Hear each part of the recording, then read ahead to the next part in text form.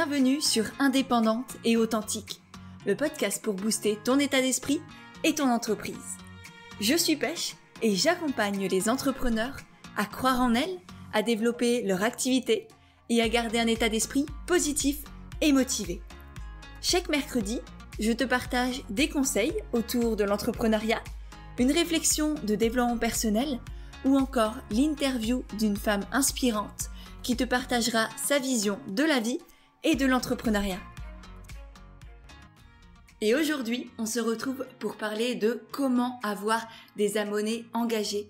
On va parler du coup bah, forcément d'engagement, d'humain, de soutien, de vraiment, je vais, je vais t'expliquer comment créer de vraies connexions avec les gens, comment avoir des retours constamment sur ce que tu crées, par exemple des posts Instagram, des podcasts, des vidéos sur YouTube, parce que je sais à quel point ça peut être frustrant de, tout donner dans ces contenus, dans ce que l'on a envie de, partager, et, de se retrouver avec euh, le commentaire d'un robot ou euh, quelques likes par-ci par-là, mais rien de, réellement concluant, et on a l'impression de, d'une part, de travailler dans, le vide, et, d'autre part, de ne servir à rien, de pas avoir d'impact, alors que parfois, bah, les gens nous lisent, mais n'ont pas forcément, ne prennent pas forcément le temps de nous répondre. Donc voilà, l'idée dans ce podcast, c'est vraiment de te donner les clés pour réussir à avoir du soutien, des partages, des commentaires, etc., etc.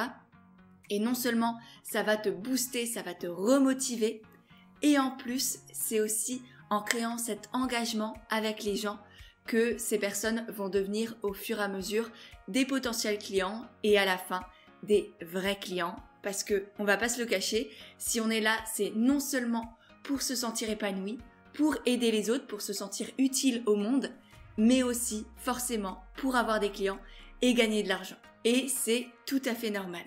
Donc c'est parti pour mes petits conseils. Juste avant, je tenais à remercier Mam Philae qui a partagé le dernier épisode de podcast dans ses stories sur Instagram. Mam Philae qui d'ailleurs fait un travail extraordinaire auprès des mamans. Donc si tu es une maman, je te mettrai son compte dans les notes de l'épisode. Et si toi aussi tu veux me soutenir, si tu apprécies le podcast, eh bien n'hésite pas à faire de même, à partager l'épisode dans tes stories sur Instagram en me taguant, ça me permettra de te remercier et de te repartager. Et sur ce, revenons au sujet du jour. Et pour commencer, je pense que c'est important que je clarifie un peu ce terme d'engagement. Le taux d'engagement, c'est un, terme euh, bah, que moi j'ai appris notamment dans mes études de marketing, de communication, qu'on entend énormément dans cet univers-là, mais qui est pas forcément connu de tous, alors que vraiment c'est une, sorte de statistique qui est très importante à, regarder de temps en temps. Donc je t'inviterai à, le faire juste après l'épisode. Et pour t'expliquer, le taux d'engagement, en fait, c'est simplement l'engagement de tes abonnés ou, de ton public à l'égard d'une publication. Et du coup, ça permet de savoir si ta publication, elle plaît euh, ou pas aux gens. Globalement, ce qu'on prend en compte, ce qu'on va regarder, ce sont les likes, les pouces sur YouTube, les favoris, le nombre de partages, les commentaires qu'il y a sous, euh, le post ou, ou sous la publication et les enregistrements. Sur Instagram, par exemple, c'est hyper important d'aller regarder euh, le nombre d'enregistrements que tu as sous tes publications. Ça te donne un bon indicateur pour savoir si ta publication plaît ou non. Et du coup, au final, le taux d'engagement, il se calcule en divisant le nombre total d'interactions sur une publication. Donc les interactions, c'est ce que je viens de te citer, les partages, les likes, etc. par le nombre total de personnes ayant vu la publication. Donc l'idée, c'est de se demander, est-ce qu'il y a beaucoup de personnes qui interagissent avec ma publication quand elles l'ont vue ou pas? Voilà. Et maintenant, pourquoi est-ce que c'est si important de connaître ce taux d'engagement et, d'avoir un bon engagement dans, tout ce que l'on crée? Parce qu'effectivement, il y a cette notion de ça nous fait plaisir, on se sent utile, etc., etc. Mais même d'un point de vue algorithmique, technique et entrepreneurial, eh bien, c'est extrêmement important. Alors tout d'abord, d'un point de vue technique et algorithmique sur les réseaux sociaux, on va dire que plus votre taux d'engagement est élevé, plus vos abonnés voient vos contenus. Parce qu'en fait, à partir du moment où, par exemple, Instagram prend conscience qu'il y a des commentaires sous votre post, que les gens l'enregistrent, le partagent, etc., et ben là, il va se dire, ah tiens, ce post, il plaît aux gens, et du coup, il va aller le montrer à de plus en plus de personnes. Parce qu'au départ, quand vous publiez votre post sur Instagram, disons à 20h, eh bien au début, il n'y a pas tous vos abonnés qui vont le voir. Instagram ne va pas le montrer à tout le monde. Il prend une petite euh, part de vos abonnés, il va le montrer et il va regarder qu'est-ce qui se passe. Est-ce que les gens interagissent? Est-ce qu'ils commentent? Est-ce qu'ils s'abonnent? Est-ce qu'ils euh, partagent Etc. Ou est-ce que, au contraire, il se passe rien, ils, continuent à, zapper? Donc voilà. Et plus il y aura d'engagement au départ, de commentaires, etc., plus Instagram va prendre conscience que votre post a de la valeur et il va le montrer à la fois à vos autres abonnés, à tous ceux qui ne l'auraient pas encore vu, et en plus, il va le montrer aussi, par exemple, dans, les hashtags ou dans l'Explorer. Et du coup, il va y avoir de plus en plus de nouvelles personnes qui vont pouvoir découvrir votre profil. Et c'est par exemple comme ça qu'un contenu peut devenir viral. Les trucs qu'on voit tourner sur Instagram, sur Facebook, quand il y a des millions, des millions de, de, partages, de commentaires, eh ben, c'est parce que les algorithmes sont faits de telle sorte qu'ils vont mettre en avant les publications qui plaisent aux premiers abonnés. J'espère que c'est clair, c'est un peu complexe, un peu technique, mais euh, j'ai essayé de simplifier au maximum. Et ensuite, d'un point de vue entrepreneurial, avoir un bon taux d'engagement, c'est aussi extrêmement important parce que non seulement plus vos abonnés s'engagent, plus c'est le signe qu'ils se sentent proches de vous, qu'ils vous font confiance et du coup qu'ils seront aptes à devenir des clients. Et ce qui est génial, c'est qu'ils viendront chez toi pour toi, parce que c'est toi, pour tes valeurs, pour, pour ce que tu partages, etc. Et non pas parce que t'es le moins cher du marché ou qui sont simplement désespérés et que t'es la première personne de qui ils ont entendu parler. Donc voilà, vraiment, c'est le but, c'est d'avoir des clients extrêmement engagés. Et en plus, du coup, vu que l'engagement tient aussi compte des partages, des, des enregistrements, etc. Eh bien, grâce à ces personnes-là, grâce à ces futurs clients, tu vas pouvoir avoir d'autres clients parce que même sur les réseaux sociaux, il y a le principe du bouche à oreille qui se fait par exemple grâce au partage. C'est notamment pour ça que, moi là par exemple je vous demande aussi de partager le podcast parce que c'est une manière aussi de faire découvrir les épisodes à, vos proches, à vos amis, à votre communauté. Donc voilà, l'idée c'est vraiment de créer un cercle vertueux, ce que moi j'appelle le cercle vertueux de la communication je te mettrai un lien pour t'expliquer un, peu ce que c'est dans les notes de l'épisode, parce que c'est vraiment très important de comprendre ce principe de cercle vertueux de la communication, qui du coup, euh, grâce à, une bonne communication, tu vas pouvoir toucher des personnes qui vont venir vers toi, pour toi, qui vont devenir des clients, qui vont non seulement rester clients fidèles chez toi, et qui en plus vont t'apporter d'autres clients et, voilà, et le cercle vertueux se met en place. Donc, c'est pour ça que c'est tellement important d'avoir un bon taux d'engagement. Et maintenant, eh bien, comment faire pour avoir des abonnés engagés et une vraie communauté qui nous soutient? Pour ça, j'ai sept conseils essentiels à te partager, notamment le, dernier qui est mon petit chouchou. Juste avant, il y a un gros prérequis pour pouvoir mettre en place tous ces, euh, conseils-là, c'est de connaître ton client idéal. J'en parle régulièrement, notamment dans la formation Commun Naturel. Il y a tout un module là-dessus. Donc, si tu as la formation, je t'invite vraiment à y refaire un tour, à, bien avoir en tête ton client idéal avant de mettre en application ces conseils-là. Si tu n'as pas encore la formation Commun Naturel, reste dans les parages.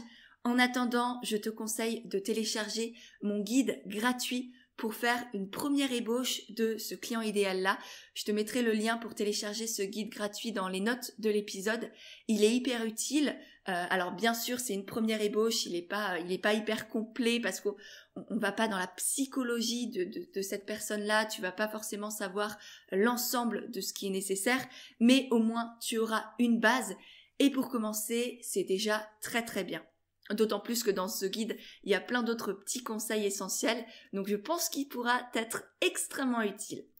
Voilà, petite parenthèse pour le client idéal qu'il faut absolument que tu connaisses sur le bout des doigts. Sur ce, mon premier conseil, c'est d'apporter de la valeur, mais pas n'importe quelle valeur, de la valeur différenciante. D'une part, apporter de la valeur, ça signifie mettre en avant tes connaissances, tes compétences, en donnant par exemple des conseils, des astuces à tes abonnés, en faisant par exemple des posts Instagram avec 5 astuces pour, euh, pour prendre soin de soi au printemps ou comment faire une détox, etc. Mais cette valeur que tu as apportée, elle ne doit pas être comme tout le monde. Ça sert à rien de faire exactement, de parler des mêmes sujets de la même manière que font tes concurrents ou tes collègues. Par exemple, si tu es naturopathe, ne fais pas juste un énième post sur la détox de printemps en énumérant les bénéfices comme on pourrait voir sur Wikipédia.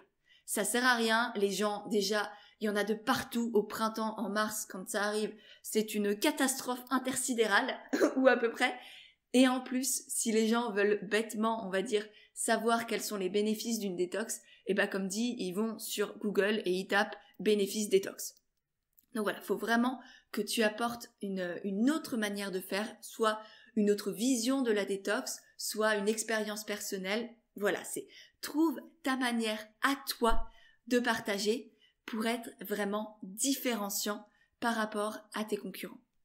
Comme on le voit dans la formation comme naturelle, tu vas pouvoir te différencier par ton positionnement, ton univers visuel, le ton que tu vas utiliser, les exemples que tu vas proposer, les formats également que tu peux euh, que tu peux utiliser. Ça peut être des vidéos, des audios, des mix de tout ça avec des gifs, des paillettes, des, tout ce que tu veux. L'idée c'est vraiment qu'à la fois ça ne ressemble à personne d'autre qu'à toi-même. Donc on arrête de se comparer, on arrête de regarder ce que font les autres et de se dire hum, ça c'est une bonne idée, je vais peut-être copier ou, à peu près ou, m'inspirer. et vraiment tu reviens à toi et tu fais en sorte d'apporter de la valeur différenciante et de créer un univers qui te ressemble à toi. Parce que plus ton poste sera intéressant, sera différent des autres et suscitera des émotions, plus il va attirer l'œil des personnes qui interagiront avec ta publication ou ta story sur Instagram, par exemple, parce que justement, elles ne ressemblent pas aux autres et ça fait, ça fait, ça fait tilt dans leur esprit et du coup, forcément, elles vont venir euh, commenter, partager, l'enregistrer, etc., etc. Pour aller plus loin, comme dit, si t'as pas la formation comme naturelle, je te renvoie à l'article sur les 8 étapes pour se faire connaître et gagner en visibilité sur les réseaux sociaux et sur Internet. Je pense que tu trouveras d'autres conseils qui te seront bien utiles. Je te mettrai également le lien dans les notes de l'épisode. On passe maintenant au deuxième conseil que j'ai déjà un peu spoilé sans le faire exprès, qui est d'avoir un univers cohérent et agréable visuellement. Parce que soyons honnêtes, personne n'a envie de passer du temps sur un post, une story ou un feed Instagram ou une vidéo sur YouTube qui fait mal aux yeux, où tout part dans tous les sens et où tout est illisible. Je te conseille donc de veiller à utiliser des couleurs, des formes, des polices qui sont à la fois esthétiques et en même temps faciles à lire et à comprendre. Donc tu choisis quelques couleurs, tu prends pas toutes les couleurs de l'arc-en-ciel, quelques polices qui sont à la fois lisibles et qui en même temps attirent l'œil. Là, si tu as la formation comme naturelle, je te renvoie au module 3 où il y a toute une partie sur vraiment euh, l'univers visuel, comment créer un univers qui te ressemble au niveau de la personnalité et en même temps qui attire l'œil de tes clients idéaux. C'est vraiment important que tu te sentes chez toi bah, chez toi, sur, ton compte Instagram, sur ta chaîne YouTube, dans ton blog, etc., que ça te ressemble, que tu aies envie de le développer, d'y créer, que ce soit ton petit cocon à toi. Et en plus, du coup, ça permettra aussi d'attirer, on va dire, les bonnes personnes, des personnes qui, partagent euh, ton mode de vie, tes valeurs, les mêmes appétences. Tout ça, ça se ressent aussi au niveau du visuel, dans ton univers.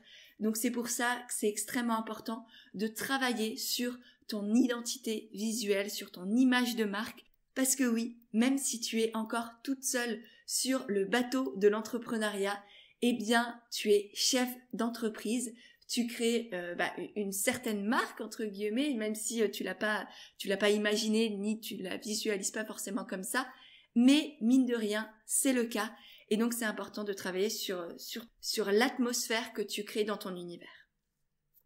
Ensuite, mon troisième conseil, c'est d'utiliser tous les formats disponibles. Parce que plus tu vas utiliser les fonctionnalités que les réseaux sociaux mettent à ta disposition, plus tu vas être favorisé par les algorithmes. Parce que les réseaux sociaux, ils ont un ego, euh, on va dire, mirobolant. Et du coup, eux, tout ce qu'ils veulent, c'est que tu utilises ce qu'ils proposent. Donc, par exemple, sur Instagram, ça va être faire des stories, utiliser tous les stickers d'engagement qui sont disponibles, parce que là on est quand même dans un podcast pour parler d'engagement, donc pose des questions aux personnes qui te suivent. Les stickers d'engagement, ce sont notamment les sondages, les questions, les quiz. Donc tout ça, tu as à disposition dans les stories sur Instagram. Et c'est hyper important parce que non seulement tu montres à l'algorithme que tu utilises tout ce que ce qu'Instagram propose, et en plus, ça te permet vraiment de créer des échanges avec tes abonnés, de ne pas être toi juste dans le partage à sens unique, qui n'est d'ailleurs pas un partage, hein, c'est juste un don, mais vraiment du coup de créer du partage, de créer des interactions avec les gens pour bah, pour savoir qui ils sont, leur poser des questions, leur montrer que tu t'intéresses sincèrement et réellement à eux. Ça, on y reviendra. Et euh, donc voilà, utilise tous les stickers d'engagement dans tes stories, fais des stories. Même si au début tu t'es pas forcément obligé de montrer ta tête, de faire des stories face cam, tu peux très bien euh, montrer euh, les arbres devant chez toi, montrer tes assiettes, etc. Rien que ça, ça peut déjà générer de l'engagement et de la proximité avec les gens. N'oublie pas non plus de faire des posts avec des citations, des carousels, des infographies, vraiment tous ces formats qui sont, euh, qui sont disponibles, notamment avec l'outil Canva pour, euh, pour créer des visuels. C'est hyper intéressant, c'est différenciant aussi par rapport à un simple post avec une photo. Et l'idéal d'ailleurs, c'est de faire des posts partageables qui donne envie d'être enregistré. Donc ça, ce sont des notions qu'on voit aussi dans la formation comme naturelle. Je vais pas m'étendre là-dessus parce que c'est pas l'objet de ce podcast, mais vraiment, c'est extrêmement important que tu réfléchisses à tes posts pour qu'ils soient partageables et qui donnent envie d'être enregistrés et d'être conservés par les personnes. Et si on continue sur Instagram, les autres formats disponibles, en plus des stories et des posts des carousels, ça va être les lives, les reels, les IGTV, euh, voilà, toutes ces choses-là, vraiment, hésite pas, laisse parler ta créativité, ose te faire confiance, ose sortir de ta zone de confort et l'audace de faire des choses différenciantes, c'est vraiment ça qui va non seulement envoyer des messages positifs aux algorithmes pour qu'ils mettent en avant tout ce que tu proposes, et en plus qui va donner envie aux gens de venir vers toi. Mon quatrième conseil maintenant, c'est de t'intéresser sincèrement à tes abonnés.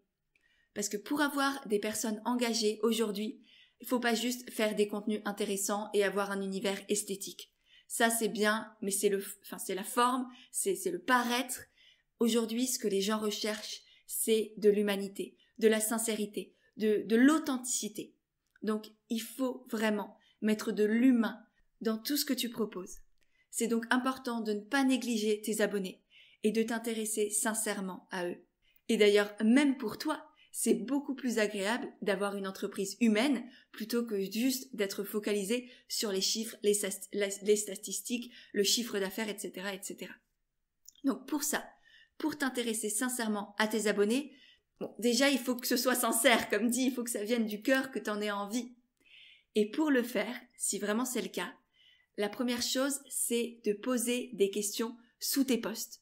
Parce que si tu fais un petit texte hyper intéressant, mais qu'à la fin la personne, bah, elle a rien à te dire, rien à te raconter, elle sait pas comment interagir avec toi, et eh ben elle va pas laisser de commentaires.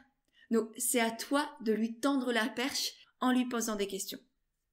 Ensuite, n'oublie pas non plus de répondre aux personnes qui vont te laisser des commentaires.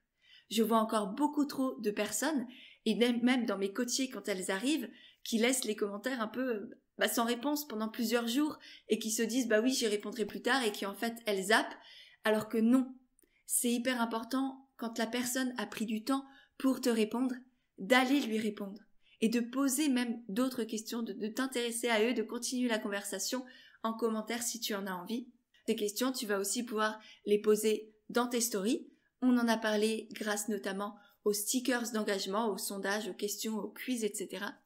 Et aussi, même dans tes MP, quand les gens te disent tiens merci pour ce post et, ou, euh, ou réagissent à une de tes stories, eh bien n'hésite pas à rebondir sur ce qu'ils te disent pour poser des questions. Ça te permettra de mieux les connaître, de savoir ce qui les intéresse, ce qui leur plaît. Donc voilà, c'était mon quatrième conseil, extrêmement important. Moi, c'est presque un, de ceux que, que je mets le plus en application, qui me tient le plus à cœur parce que bah, bah, c'est pour ça que, que, je suis là, que je partage au quotidien. Donc, euh, c'est pour créer un lien humain avec vous, avec mes abonnés. Voilà. Ensuite, cinquième conseil, c'est d'être proactif. Parce que pour avoir de l'engagement, il faut soi-même être engagé. Tu peux pas demander aux autres de commenter, de partager, de liker, de tout ce que tu veux, si toi-même tu ne le fais pas pour les autres. C'est, c'est, c'est trop simple, c'est la, vie ça marche pas comme ça. Pour recevoir, il faut donner. J'en parle d'ailleurs dans mon podcast sur l'abondance et sur la peur de manquer. Donc je te mettrai aussi le lien dans la barre d'infos parce que vraiment c'est un, très très beau podcast que je te conseille d'aller écouter ou lire sur le blog si tu en as envie. Donc voilà, pour, être pour avoir de l'engagement, il faut nourrir soi-même l'engagement. Et donc pour ça, ça signifie commenter de manière qualitative chez tes abonnés, chez, euh, chez les personnes que tu suis. Pas juste mettre quelques emojis parce que ça, ça donne juste l'impression d'être un robot. C'est absolument pas humain. Donc vraiment t'intéresser à ce que la personne raconte dans son poste euh, et interagir sur ce qu'elle dit. Ensuite, être proactif, c'est aussi aller vers des comptes de potentiels abonnés, de potentiels clients et commenter, commenter sincèrement, pas juste dans l'intention de les faire venir chez toi, mais voilà, t'intéresser à eux et en plus ça te permettra aussi de mieux connaître ton client idéal. Troisième point pour être proactif, c'est d'avoir une bonne stratégie de visibilité en postant régulièrement, mais sans t'épuiser non plus. Hein, comme, comme je le dis dans la formation, c'est vraiment un équilibre à trouver dans ton organisation pour être présente sans pour autant t'oublier toi-même. Et pour finir, être proactif, c'est si possible commenter et être engagé juste avant et juste après avoir publié un post parce que là c'est notamment pour les algorithmes euh, ça va envoyer un message positif aux réseaux sociaux, à Instagram, à Facebook, à, qui tu veux, à, quoi tu veux plutôt, et leur dire tiens je suis présente donc mets mon post en avant, je serai présente pour, pour commenter, pour partager, pour échanger avec mes abonnés. Donc voilà, si tu arrives à être là peut-être 10 minutes avant de publier ton post et 10 minutes après, notamment pour répondre aux commentaires, eh bien ce sera encore plus bénéfique pour avoir un encore meilleur taux d'engagement sous tes publications. Mon sixième conseil, qui va peut-être te déstabiliser, mais qui est néanmoins extrêmement important, c'est de faire le tri régulièrement dans tes abonnés. Et ça, ça signifie supprimer des abonnés. Oui, oui, oui. Parce que le taux d'engagement, comme je te l'ai expliqué, c'est le ratio, on va dire, entre le nombre de commentaires, de likes, de partages, etc. et le nombre de, personnes qui vont voir le post. Donc l'idée, c'est d'avoir un maximum de personnes qui vont commenter, partager, liker et un minimum de personnes passives qui vont juste scroller leur feed sans réellement apporter d'intérêt à ce que toi tu proposes. Et de toute manière, t'as pas besoin de milliers et de milliers d'abonnés. Toi, tout ce qu'il te faut, enfin tout ce que je t'invite vraiment à, avoir, à, rechercher, ce sont des abonnés engagés, des futurs clients. Parce que si t'es là, c'est pas pour devenir la, la future starlette des réseaux sociaux. C'est pour communiquer sur ta passion, interagir avec les gens, partager, échanger et avoir des clients. Donc, prends aussi du recul sur pourquoi est-ce que tu recherches constamment des abonnés et prends conscience que tout ce qu'il te faut, c'est quelques abonnés engagés. Même juste peut-être quelques dizaines, quelques centaines si tu veux, mais des vraies personnes, des personnes qui te soutiennent. C'est ça ce que tu recherches. Et c'est pour ça que c'est important de régulièrement faire le tri et de supprimer les abonnés qui, entre guillemets, ne te servent à rien, et notamment les faux comptes ou les comptes fantômes qui s'abonnent pour on ne sait quelle raison et qui sont là, euh, qui sont là et qui servent à rien. Donc pour ça, pour repérer ces faux comptes ou ces comptes fantômes, je t'invite à aller sur ton profil, à cliquer sur ton nombre d'abonnés et à retirer tous les profils qui sont un peu douteux. Donc les profils douteux, c'est ceux avec beaucoup d'abonnés et beaucoup d'abonnements, ceux qui n'ont pas de photos mais qui ont beaucoup d'abonnés, ceux qui ont des noms étranges qui sont euh, avec 3 milliards de numéros à la fin par exemple, ceux qui ont des photos aussi étranges et ceux qui n'ont pas de photos de profil. Donc je te mettrai un récap dans l'article de blog lié à cet épisode de podcast pour que tu puisses aller checker tout ça et le faire calmement après avoir écouté le, podcast. Donc, pas de souci, euh, tu as le petit récap écrit, mais c'est vraiment important que tu fasses, euh, que tu fasses le tri dans, dans tes abonnés pour vraiment uniquement avoir des abonnés qualifiés qui vont être engagés, qui vont pouvoir du coup voir tes posts, les partager, les commenter, etc., etc. Ce sera vraiment comme un petit ménage de printemps qui va faire le plus grand bien à ton compte Instagram. Et même pour l'algorithme, encore une fois, ça va lui envoyer un message positif et lui va montrer tes posts à de vraies personnes, à des personnes qui pourront vraiment s'engager. Et comme je te l'ai expliqué, plus tu auras d'engagement sous un post, plus Instagram va le montrer, et ainsi de suite. Donc, faire le tri, je sais que ça fait peur, mais fais-moi confiance, ça va te changer la vie. Mon septième conseil maintenant, qui va peut-être te faire peur, mais reste là, je vais t'expliquer ce que c'est réellement. Et ce conseil, c'est de faire du storytelling. Et je sais que ce mot peut faire peur, donc je vais vraiment t'expliquer ce que c'est concrètement et tu vas voir que c'est absolument pas ce que tu penses. Et si je te dis ça, c'est parce que quand je parle de storytelling à mes coachés ou dans la formation, beaucoup me regardent de travers et me disent qu'elles ne veulent absolument pas partager leur vie privée. Et ça tombe bien parce que le storytelling n'a rien à voir avec de la télé-réalité ou, ou je ne sais quoi pour partager sa vie privée. Comme je l'explique dans la formation comme naturelle, faire du storytelling, c'est simplement raconter ton histoire, partager ton pourquoi, tes valeurs, des petits bouts de, ton mode de vie pour créer du lien avec les gens. Mais on ne te demande absolument pas de partager ta, vie intime, ni de mettre des photos de tes enfants euh, sur Instagram par exemple, si tu n'en as pas envie. Bien au contraire. Déjà, c'est à chacun, chacune de fixer ses limites, de mettre ses barrières. Si toi tu dis, moi, mes enfants ne seront jamais sur les réseaux sociaux, eh bien, euh, bien c'est très bien et c'est à toi de le définir et personne ne t'oblige à rien. Si toi-même tu n'as pas envie de montrer ton visage sur les réseaux, c'est tout à fait possible aussi. C'est voilà, c'est vraiment à chacun chacune de voir ce qui, euh, ce qui est acceptable pour lui, pour elle, sans pour autant rester dans sa zone de confort. Hein. Il faut aussi se bouger les fesses, se mettre des petits défis, des petits challenges, avancer au fur et à mesure.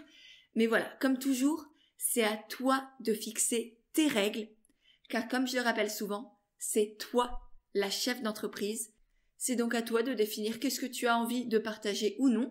Comme dit, ça peut être euh, des petits, des, jolies fleurs, tes assiettes, les backstage de tes créations. Il y a plein de choses à faire sans forcément être obligé de montrer ni sa tête, ni sa maison, ni, ni qui sais-je.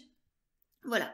Par contre, c'est important de quand même créer du storytelling dans ton univers, de partager ton pourquoi, tes valeurs, des petits bouts de ton mode de vie, parce que c'est justement grâce à ces partages-là que tes abonnés vont se sentir proches de toi et vont s'engager. D'ailleurs, si tu y réfléchis, pourquoi est-ce que tu apprécies le contenu de certaines personnes sur les réseaux sociaux? Qu'est-ce qui te plaît quand tu lis les posts des gens ou que tu regardes des stories si on reste sur Instagram? Pourquoi est-ce que tu t'attaches aux gens? Est-ce que c'est juste parce qu'ils partagent des conseils et des informations, un peu en mode Wikipédia? Ou est-ce que c'est parce qu'il y a aussi une part d'humanité? Ils montrent un petit bout de leur personnalité, de leurs valeurs, de leur vision de la vie. Et si tu te poses réellement cette question qui t'a sur pause sur le podcast, tu vas te rendre compte qu'en fait tu t'es attaché à des personnes pour ça justement, pour qui elles sont, pour l'humain qu'elles incarnent et pour ce que vous avez en commun. Donc si tu veux créer du lien avec les gens, si tu veux avoir une communauté et des abonnés engagés, qui se sentent proches de toi, il va falloir partager des petits bouts, des petits bouts de qui tu es. Et, encore une fois, c'est un juste milieu à trouver entre vie privée, vie intime et simplement partage humain pour s'entraider et pour échanger. Et c'est d'autant plus important que je suis persuadée qu'aujourd'hui les gens n'achètent plus juste des produits ou des services pour leur prix ou leurs bénéfices. Ils choisissent avant tout selon l'entrepreneur qu'il y a derrière, selon la marque ou, l'entreprise qui se cache, qui a créé ce produit ou ce service-là. Et notamment en fonction des valeurs et de la vision du monde que transmet cette entreprise. Donc si tu veux avoir des abonnés, si tu veux avoir des clients fidèles, engagés, qui te soutiennent, il faut qu'ils se sentent proches de toi. Et pour ça, je t'invite vraiment à partager des petits bouts de qui tu es sans forcément tout dévoiler. Voilà pour mon septième conseil. Et maintenant que tu as toutes les clés pour avoir une communauté engagée sur Instagram et sur Internet en règle générale, eh ben, il va falloir parler de tes offres pour vraiment transformer ces abonnés en clients, en clients fidèles, en clients qui te soutiennent et qui parlent de toi autour d'eux. Et pour ça, je te renvoie à l'article sur comment dépasser la peur de vendre et apprendre à vendre naturellement que tu trouveras dans les notes de l'épisode et au module 9 de la formation comme naturel qui est justement dédié à la vente, à comment vendre sans se vendre soi-même. Euh, bien sûr, si tu as la formation, évidemment, sinon ce sera compliqué. Voilà, voilou pour te faire un récapitulatif de tous les conseils que je t'ai partagés pour avoir des abonnés engagés. 1. Apporter de la valeur différenciante. 2. Avoir un univers cohérent et agréable visuellement. 3. Utiliser tous les formats disponibles sur Internet et sur les réseaux sociaux. 4. T'intéresser sincèrement à tes abonnés. 5. Être proactif, parce que l'engagement nourrit l'engagement. 6. Faire régulièrement du tri dans tes abonnés. Et 7. Faire du storytelling sans partager ta vie privée. J'espère vraiment que cet épisode t'a plu. Si c'est le cas, n'oublie pas de le partager sur Instagram en me taguant dans ta story pour que je puisse te remercier et te repartager. N'oublie pas non plus d'aller dans les notes de l'épisode pour voir toutes les ressources que je t'y ai laissées, que ce soit le guide pour créer ton client idéal ou tous les articles de blog sur, sur l'abondance sur les réseaux sociaux que j'ai cités durant le podcast. Et sur ce, eh bien moi, je te souhaite une très belle journée et je te dis à mercredi prochain pour un nouvel épisode d'Indépendante et authentique.